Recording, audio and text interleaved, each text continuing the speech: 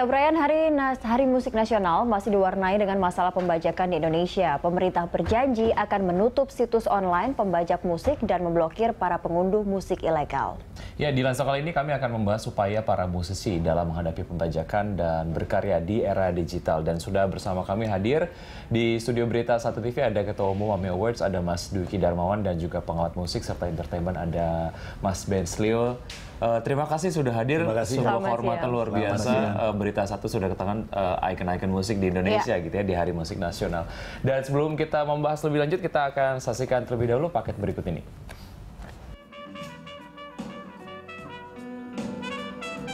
Musik sudah menjadi hal yang terpisahkan dalam kehidupan manusia.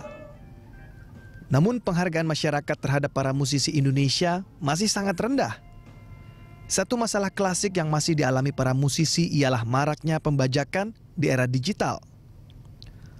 Pesatnya perkembangan teknologi saat ini mempermudah masyarakat dapat memperbanyak seluruh lagu yang diciptakan para musisi tanpa harus memperhatikan hak cipta. Peralihan ke dunia digital pun semakin menggilas penjualan musik. Pasalnya, masyarakat tak lagi menyukai bentuk fisik seperti kaset ataupun compact disc atau CD. Penjualan fisik dari industri musik pun makin menurun, sementara masih banyak oknum yang merekam musik secara ilegal demi mendapatkan keuntungan pribadi. Sejumlah musisi pun berharap masyarakat dapat menghargai para musisi dengan tidak menggunakan platform pengunduh ilegal. Sementara, dalam masa transisi ke era digital, diharapkan para musisi dapat berinovasi dalam menjual karyanya. Misalnya menjual lagu sebagai nada sambung pribadi di telepon atau berkarya melalui media sosial sehingga mereka tetap mendapatkan keuntungan dan penghargaan. Sementara Badan Ekonomi Kreatif atau Bekraf berjanji akan menjalankan berbagai program terobosannya. Kepala Bekraf Triawan Munaf mengungkapkan akan memberantas pembajakan konten digital yakni musik dan film. Lembaga pemerintah non-kementerian ini juga akan bekerja sama dengan provider telekomunikasi dan Kemenkominfo untuk mempersiapkan sistem peringatan di berbagai situs yang menyediakan konten musik dan film bajakan. Sanksinya tidak hanya penutupan situs, namun pengunduh musik bajakan juga akan terblokir media sosialnya. Tak hanya itu, Bekraf juga akan membentuk satuan tugas atau satgas khusus untuk memonitor operasi pembajakan musik bekerja sama dengan asosiasi film, musik, serta seluruh fraksi di DPR.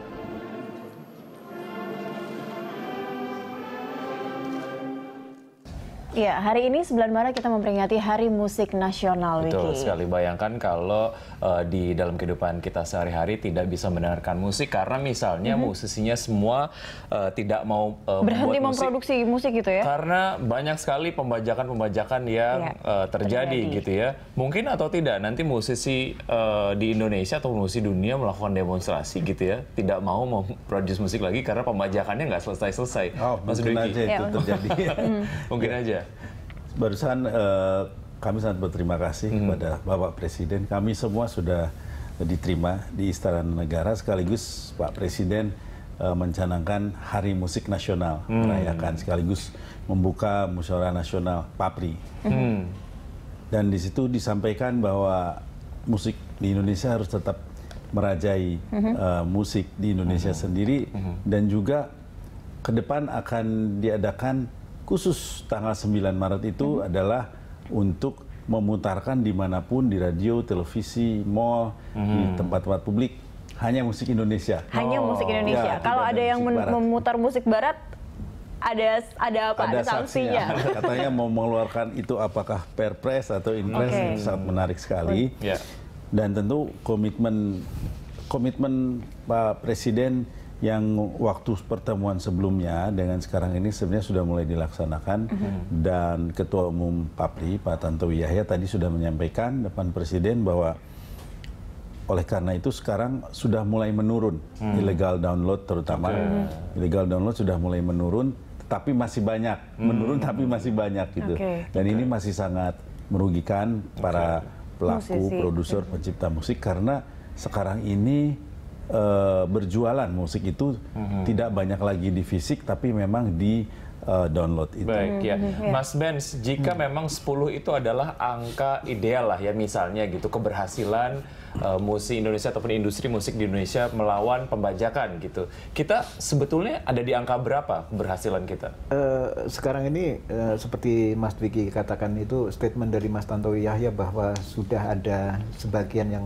uh, pembajakan uh, itu dihilangkan uh, itu saya sekarang barangkali baru baru sampai enam setengah kali ya. Hmm, enam setengah enam setengah ada ada satu yang sebetulnya harus kita lakukan sekarang adalah uh, bagaimana para musisi itu tidak capek untuk berkarya yeah. meskipun ada pembajakan karena era digital ini adalah uh, kesempatan bagi para musisi untuk berkreasi secara maksimal dan memiliki karakter yang kuat. Mm -hmm. Sekarang uh, dengan persaingan yang begitu ketat, kalau mereka tidak punya karakter yang kuat, maka uh, akan dilibas sama generasi baru yang uh, hmm. inovasinya luar biasa di industri musik. Iya. Kita seperti, bisa bayangkan, seperti, huh? uh, misalnya kayak eksplorasi antara musik daerah dengan musik diatonis barat hmm. yang dilakukan para musisi, termasuk Mas Dwiki Darmawan hmm. ini. Hmm. Ini sesuatu yang luar biasa. Java Jazz itu kalau nggak ada uh, sesuatu yang unsur Indonesianya, hmm. mungkin banyak orang-orang asing yang tidak bisa uh, menikmati bagaimana musik Indonesia berkembang. Justru ya. itu yang dicari. Ya, uh, musik Indonesia dicari oleh orang-orang Barat. Mereka betul. bisa melihat saat ya. kita uh, mem memperdengarkannya kepada masyarakat luas seperti betul. itu. Sebenarnya tadi kalau kita lihat di film sebelumnya, para musisi-musisi sebenarnya bukannya pasrah, bukannya menyerah juga, tapi memang mereka sudah jengah sebenarnya dengan banyaknya pembajakan. Tapi hmm, mereka ya. itu tidak membuat mereka uh, musisi kita terus uh, berproduksi hingga sekarang. Kalau uh, ya. Mas Ben sendiri saya kira apa? Uh, sekarang adalah uh, eranya indie. Mm -hmm. uh, kesempatan itu India itu bukan genre musik, tapi India adalah kependekan dari independen, okay. di mana kre kreativitas itu dilakukan oleh uh, individual maupun satu kelompok. Kayak tadi itu uh, di film itu di video tadi itu kan gabungan antara banyak musisi Indonesia yeah. yang ya. mereka konsen terhadap ya kita harus tetap bergerak uh, yeah. untuk me menghilangkan pembajakan. Mm -hmm. Nah, uh, salah satu caranya adalah mereka berkarya secara bersama juga. Mm -hmm. Di tempat ini saya ingat sekali saya berbarengan sama uh, Dia Ananda waktu itu. Mm -hmm. yeah. Bagaimana musik anak itu harus digerakkan mm -hmm. kembali uh, agar uh, tidak dilupakan orang banyak dan uh, media massa terutama media televisi memberi ruang bagi para kreator musik anak itu untuk tampil. Misalnya yeah. ada juga Nini Carlina mm -hmm. membentuk satu kelompok uh, apa namanya uh, teman-temannya uh, untuk membuat satu gerakan kembali ke musik anak-anak mm -hmm. Indonesia. Mm. Ini saya kira Mas Dwiki juga pernah dihubungi sama rekan ini yeah, dan yeah, yeah. kami uh, sudah melakukan audiensi ke Mas uh, Seto Mulyadi, mm. Kak Seto dan Kak Seto uh, akan uh, uh, apa namanya uh, akan berkunjung ke DPR. Yeah dengan begitu sebenarnya gerakan ini juga menjadi gerakan ya. nasional. Ya. Gitu. Selain memberikan edukasi kepada anak-anak melalui musik, ini juga bisa menjadi satu market yang potensial karena pemainnya sekarang tidak banyak mhm. seperti ya. uh, tahun 90-an gitu ya. ya. Tapi masih uh, untung ada yang main.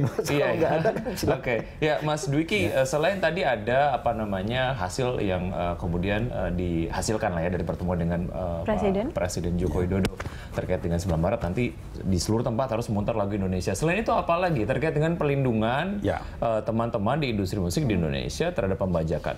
Ya, uh, musik itu hadir selalu dalam setiap fase perjuangan Indonesia ya, dari mulai perjuangan kemerdekaan, merdeka sampai mengisi kemerdekaan. Mm -hmm. Oleh karena itu saatnya selalu sekarang ini nilai ekonomi yang di, di hmm. tidak ada nilai artistik di situ. Mm -hmm. yeah tapi banyak yang hilang di sini adalah nilai ekonomi yeah. yang okay. harusnya sampai kepada yang membuatnya. Oh, ya. ya. Nah nilai ekonomi yang hilang-hilang itu sekarang seharusnya di era sekarang ini sudah tidak ke mana-mana lagi. Hmm. Itu yang harus uh, bisa ditertibkan. Betul. Salah satu kemajuan besar sekarang ini kami kebetulan kemarin kebetulan saya juga menjabat ketua dari LMK Papri sebuah lembaga manajemen kolektif. Hmm. Di mana amanah dari Undang-Undang Hak Cipta nomor 28 tahun 2014 mm -hmm. saat ini para performer dan musisi juga mm -hmm. berhak mendapatkan hak terkait okay. performing right. Okay. Kalau dulu sudah 26 tahun hanya hak cipta untuk pencipta. Ini yang dikatakan hmm. royalti seperti royalty. itu. Royalty. Hmm. Kami baru saja membagikan sejumlah 1,3 M kepada okay. sejumlah 315 anggota LMK Papri atau hmm. Lembaga Manajemen Kolektif Papri. Hmm.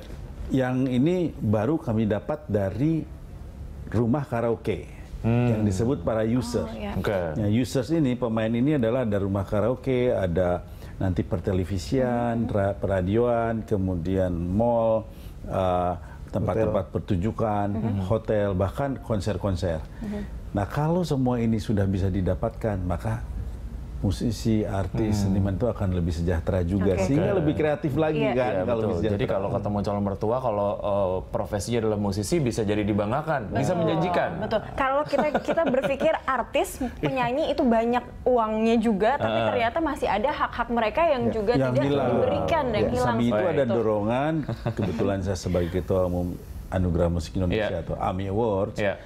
Ada dorongan sebuah awarding mm -hmm. yang bergengsi yang mm -hmm. menjadi kebanggaan dan yeah. acuan Betul. semua insan musik Indonesia. Yeah, yeah. Selain memberikan penghargaan juga sebagai lembaga pencatat juga, mm -hmm. sehingga memberikan dorongan kreatif yang lebih baik karena kebanyakan ya alhamdulillah kalau yang udah menang AMI Awards mm -hmm. itu jadi laris juga tuh shownya dan, dan lain jadi, jadi ada trademark uh, tanggung gitu. jawab untuk bisa memproduksi musik yang berkualitas. Gitu ya. Oke, okay. kita masih ada beberapa segmen. Yeah. Kita akan lanjutkan usai jeda tetap di Lanstop.